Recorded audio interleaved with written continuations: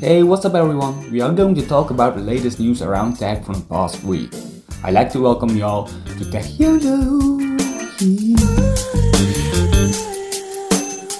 It's the end of week 24 and we've got some exciting news, mostly about the PlayStation 5.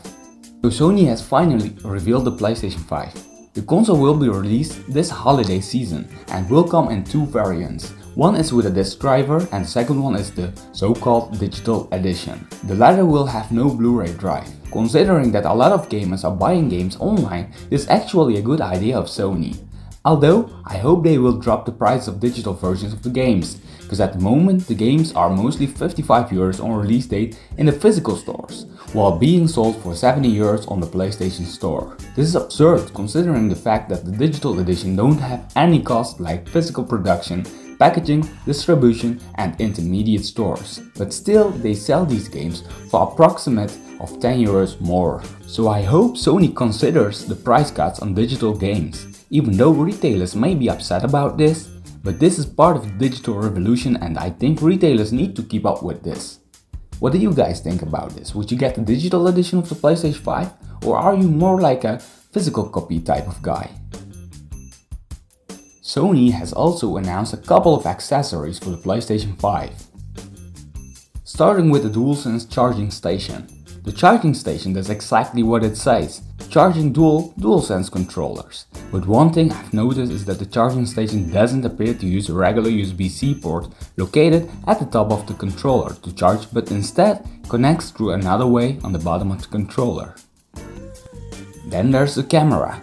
Notice the dual lens on the camera? There are both 1080p lenses. This stereo setup is the same as the PS4 camera, which is used to track motion controllers, for normal games but especially useful for VR games. I think it's a pity that Sony still sticks to this technique for tracking controls in VR. But who knows, maybe they've got this optimized by now. At the current gen of the VR hardware, Sony's controls were the worst. I hope Sony comes with a better motion controllers this time. At the hardware technology reveal event of the PlayStation 5, they've mentioned and talked a lot about 3D audio.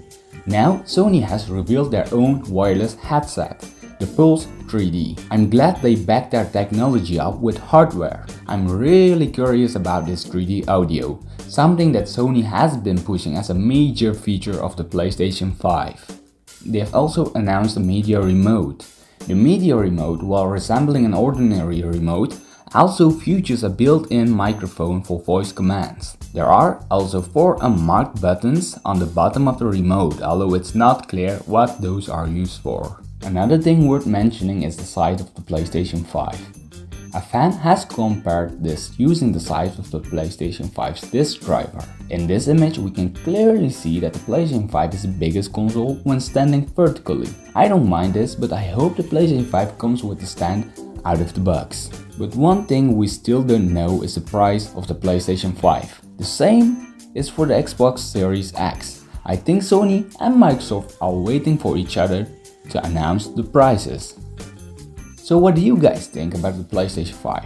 What price is worth paying for a new console and which next gen console are you going to buy?